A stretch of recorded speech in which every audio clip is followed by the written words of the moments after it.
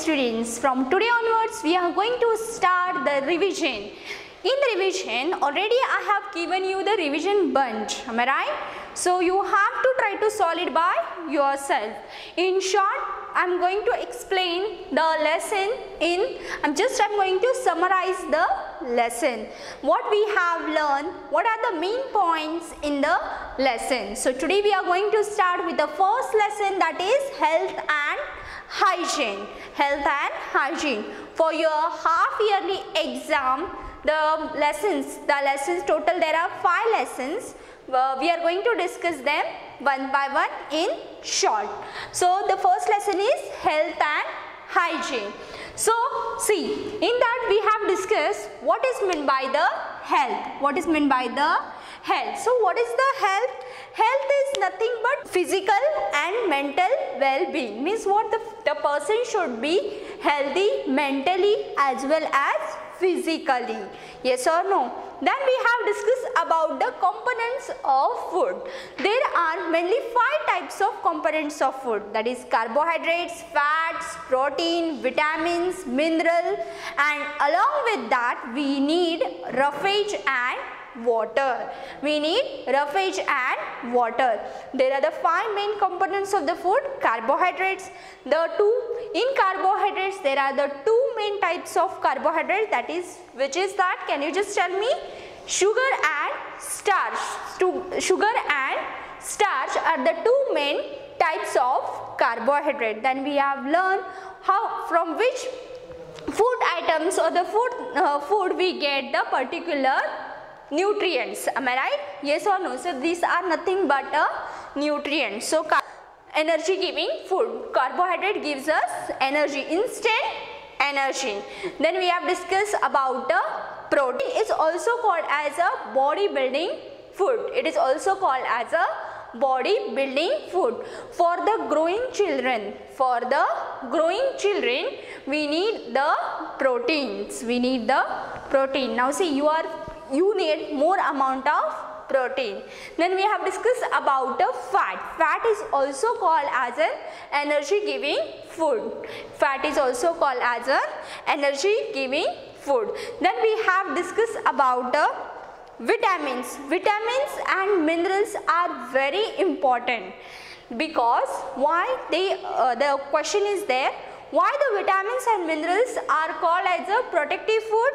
Because they fight against diseases. They fight against disease, diseases. So this is very important point in the components of the food. Vitamins and minerals are uh, are called as a protective food because they fight against diseases. Then along with these five components of the food that is five nutrients. Along with this five nutrient the very important thing we need is roughage and water. We need roughage and water. Water is very important in our body for our body. Then after that we have discussed about the balanced diet. These two points we have discussed. Then we have discussed about the balanced diet. So what is a balanced diet balanced diet is nothing but a, a diet that contain the proper amount of nutrient along with roughage and water is called as the balanced diet is called as a balanced diet.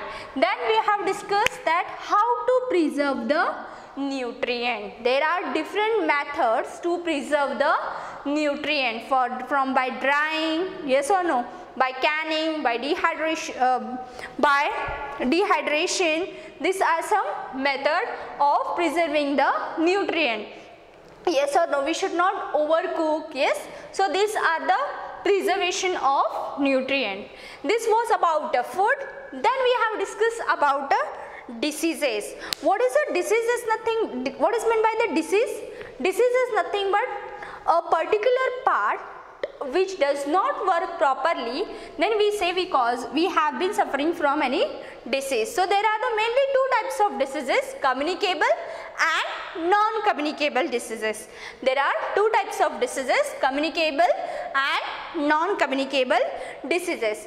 Now what is meant by the non-communicable diseases? The diseases which do not spread from one person to another the diseases which do not spread from one person to another that is called as a non-communicable diseases. Then we have discussed about uh, different types of diseases marasmus, kwashiorkor, rickets and how we can over means how we can um, prevent it from that particular disease which food items we should increase in our diet. This already we have discussed in last video yes or no?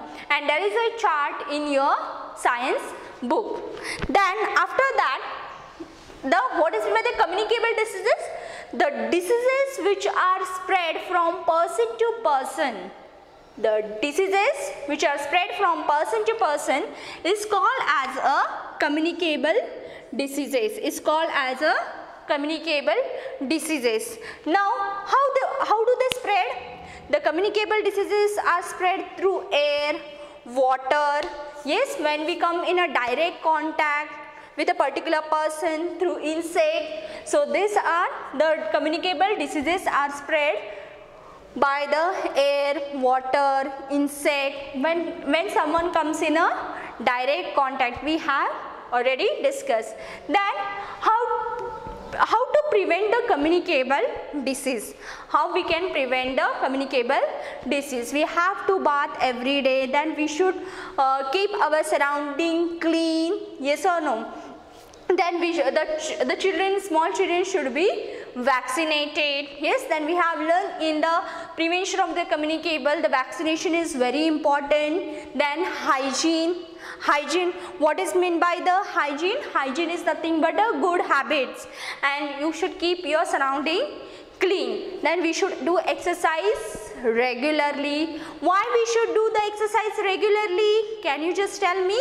We should exercise regularly to stay healthy and exercise improves our blood circulation. It increases our blood circulation and digestion.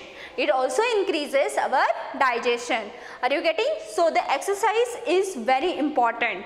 Then we should take the adequate rest. We should take an adequate rest. Then our posture should be uh, our posture should be proper. Our body posture should be proper. It should be always straight. We should sit straight. While walking also we should uh, we should walk properly. Are you getting?